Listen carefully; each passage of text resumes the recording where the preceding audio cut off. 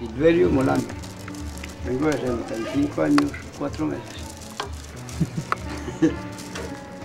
Ese trabajo en los canastos tengo 32 años. Había- hay varios, pero este es un trabajo que, que no es vendible tan, tan fácil como, como otras cosas.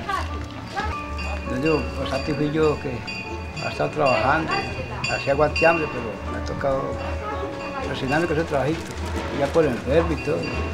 Pues yo trabajo ahora, ahora trabajo yo solo, en la familia, que yo, que yo estoy manteniendo, somos como ocho. Yo voluntariamente que me antojé a, hacer ese trabajo. Cuando es, con ese tiempo que comencé a trabajar, se vendían. Como ya entró la hora de asunto de los cocos, entonces la gente comenzó a comprar cocos y a dejarnos a nosotros atrás de- para trabajar. Y pues cualquier cosa que haga, pues yo me resigno con esto.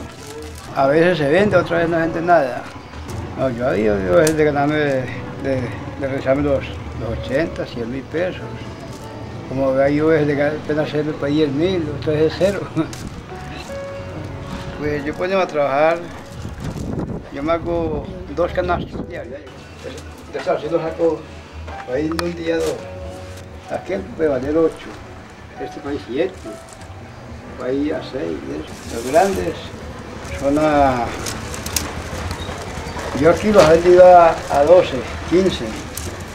Pero ya, ya para llevarlo a otras partes ya puedo vender más plata. Pues yo no me he soñado que haga otro caso por lo que yo soy un tipo que no aspiro pues que vaya a conseguir alguna cosa con esto, sino que la, la necesidad tiene, tiene cada perro como cuenta. Hay que trabajar con eso, a decir por tu tanto uno con qué coger la cosita para darle a la familia, para poder estudiar los, los hijos.